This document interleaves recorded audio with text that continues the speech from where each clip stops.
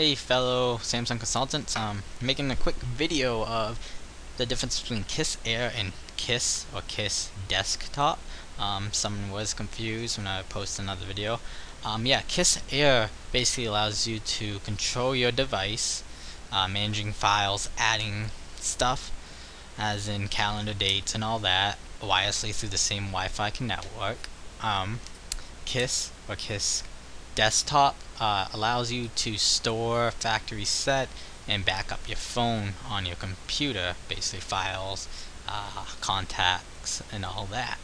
Um, for we'll show you Kies Air first. Uh, Kies Air, what you're going to need to do is, for the first time users, is get your smartphone or your Galaxy phone. Uh, go to Kies Air under All Apps or your app button. You're going to hit Start uh, it's going to say connect to the same network as your phone is. Mine is Netgear 65. Then it's going to say enter a URL into into the web browser. So you pull up your web browser, as always, HTTP.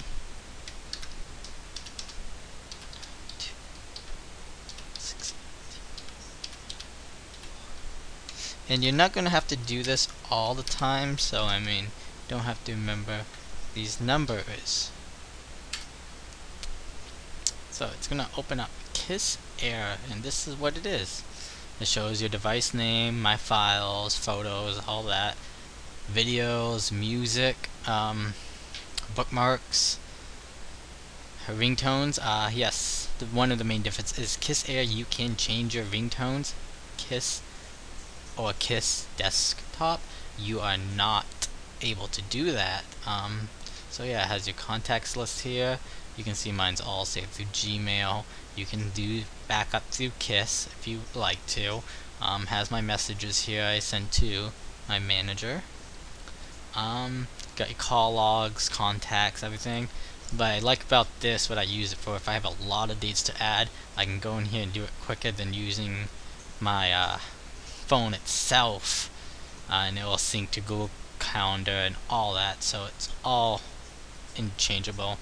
But yeah, that's Kies Air in a nutshell.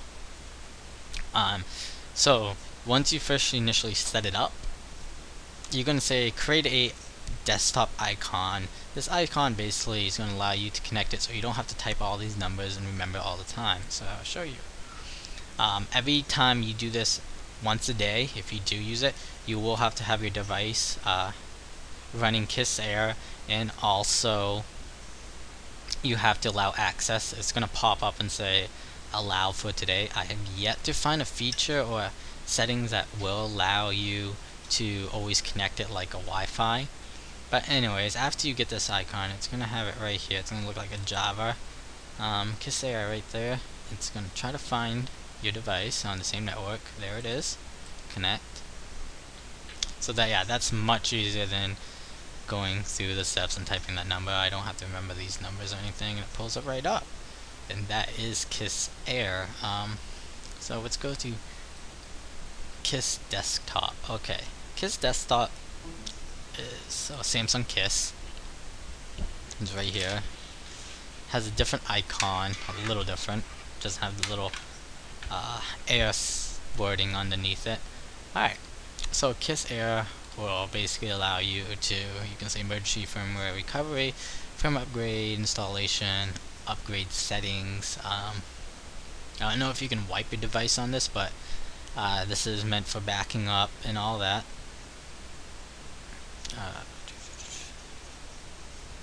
uh, to get it, um, first of all, it's going to ask, tell you if you do plug it in without doing this, you're going to need to go to your settings, under system settings you're going to have developer options you need to check off USB debugging. Debugging model launches when USB is connected so this will work properly. For me it's yet to work properly. I have no idea what's going on. So we go here. Connect it. Right here it says the device is connecting. Um, if you have any troubleshooting, follow the steps. I tried. I have no idea what's wrong with it. I'm gonna go to my store tomorrow and see what my other uh, co-workers say.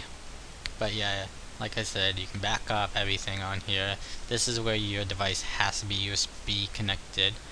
Um, but those are basically the two difference through these things. I know it's kind of confusing. It's like Samsung All Share, All Share Play, All Share Cast, uh, simplifying and making different names.